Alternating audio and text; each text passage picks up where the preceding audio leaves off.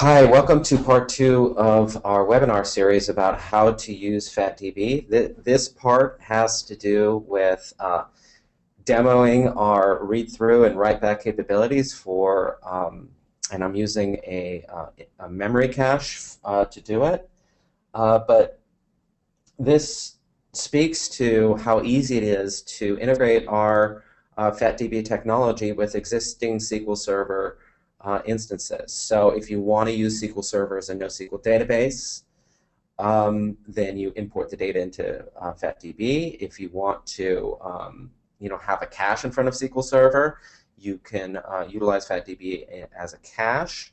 Um, and there are a, a couple other uh, really strong use cases for how you can really leverage your uh, SQL Server investment and um, give your enterprise application a lot of scale and capabilities that um, are really uh, unheard of on the uh, in the .NET world right now.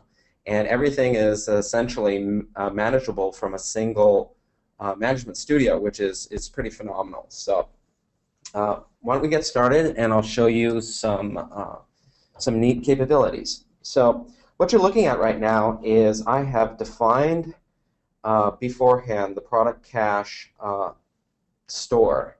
And if you look right here, I selected when I when I um, set it up, I selected an in-memory cache for SQL, and I provided the connection string.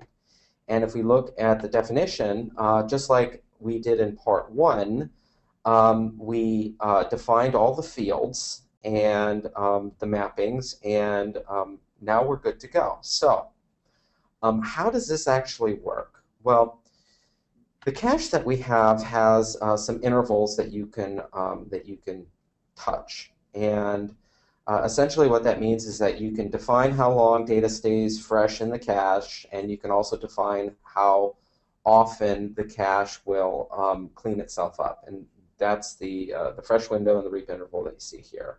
Um, there are also another, uh, you know, a couple other options that you can choose. But um, now let's go to the uh, little data application that I um, showed you guys in part one of this webinar. So if I were to, to basically look at FatDB as a cache, uh, essentially what I'm doing here is I'm telling this little data sample application to go ahead and, and look at the cache data. And as of right now, there isn't any. But if I were to hit this cache button, what it's going to do is it's going to um, ask uh, the, the product cache for um, 10 keys.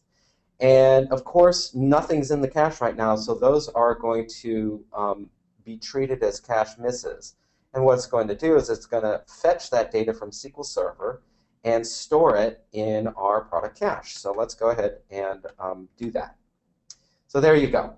So now we have a bunch of data that is cached. So I just showed you um, read through. Now, what I'm going to do is I'm going to show you write back. So I'm going to change this puce color to magenta. And um, we're going to go ahead and update the cache.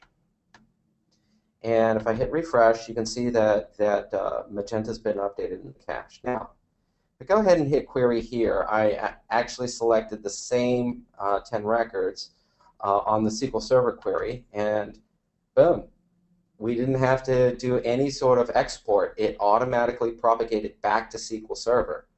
Now, our read-through and write-back capabilities are um, awesome when you want to keep your SQL Server data in sync with your um, NoSQL database.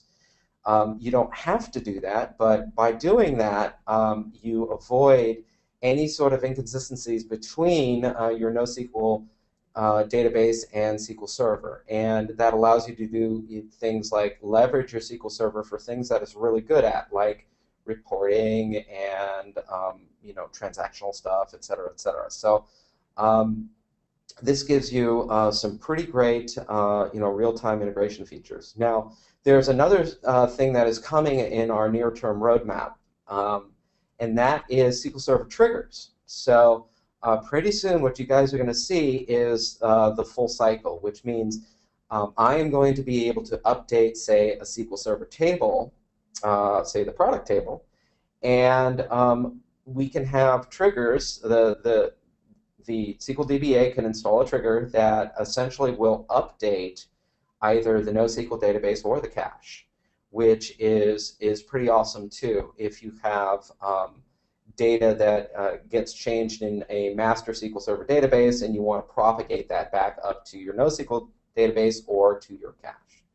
So um, that's uh, that's it. And uh, you've seen how easy it is to integrate with uh, SQL Server and how we can set up uh, easily set up uh, uh, you know products in NoSQL database and products in a NoSQL cache. So the next th there are two other webinars that are uh, up and coming in this series. One is uh, I want to show you some of the other um, pieces of functionality that are really, really integral to the FatDB platform that allow you to uh, offload some of the things that, uh, that folks are used to uh, using SQL Server for and you know really freeing up SQL Server to do the kind of things that it does best. So uh, the next webinar will uh, discuss um, the work queue and the file management system and then I'm going to show you how phenomenally easy it is to add scale